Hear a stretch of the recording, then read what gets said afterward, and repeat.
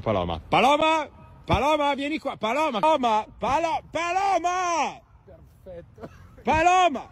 Paloma, stop! Stop! Vieni qui, Paloma! Perfetto. Paloma! Valerio Staffelli che raccoglie la cacca del cane.